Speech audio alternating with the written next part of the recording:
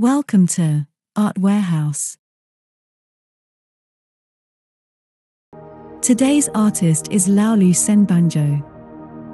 Laolu Senbanjo, also known as Laolu NYC, is a Nigerian visual artist, musician, singer, songwriter, and former human rights attorney. Senbanjo was born and raised in Ilorin, Nigeria by Yoruba parents. His father was a lawyer, his mother was a nurse. He grew up performing in his church's choir. While in school, he had a music group called Light and Fire which performed original songs and covers. Senbanjo studied law at Nigeria's law school and, despite wanting to drop out during his second year, received his degree in 2005. He then worked as a human rights lawyer for five years, spending his final three years working at the National Human Rights Commission as a senior legal officer focusing on women and children's rights. Senbanjo traveled to different parts of northern Nigeria visiting schools and villages to educate men and women about why children should be in school.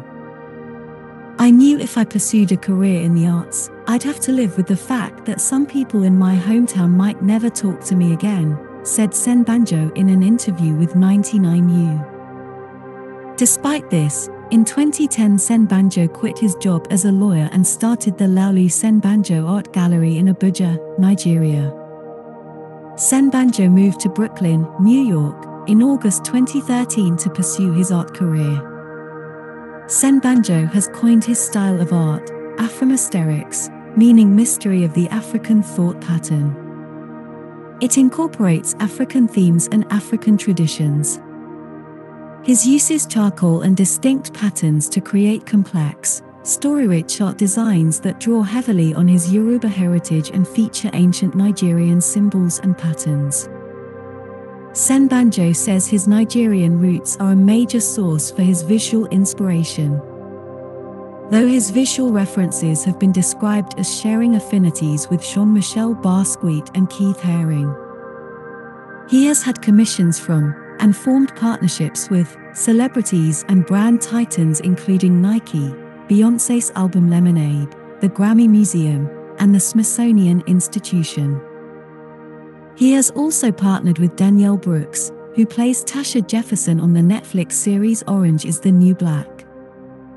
In June 2015, Senbanjo's new mantra became Everything is my canvas, and he began painting on everything from shoes to jackets to people. He created the sacred art of the Ori ritual, which he describes and explains in an the 11th of September 2017 TED Talk. In his TED Talk, Senbanjo talks about his work Dreamscape. In Laolu Senbanjo's 2018 print, Dreamscape, he reflects his frustration with the injustice in the world. Working as a human rights attorney, he saw cases with children who faced the harsh reality of getting forced into marriage or continuing their education at a university. The artwork is a mind map, starting where most life does, from a vagina, to then connecting the journey of life and all that comes with that experience to the origin story of being born. Some of the print's major themes include religion, war, politics, technology, Egyptology, sexuality, economics, environmental waste, media, history, music, greed, and human nature.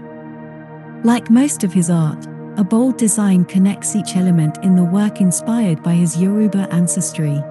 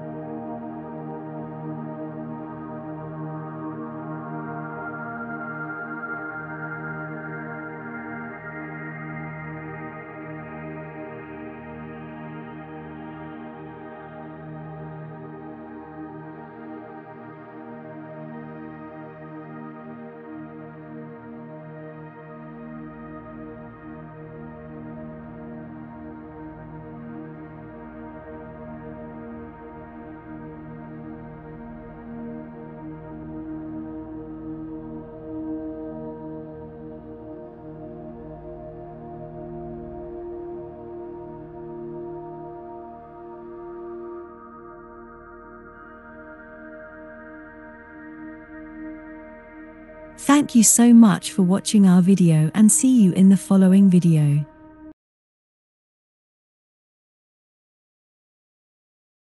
Please like and subscribe.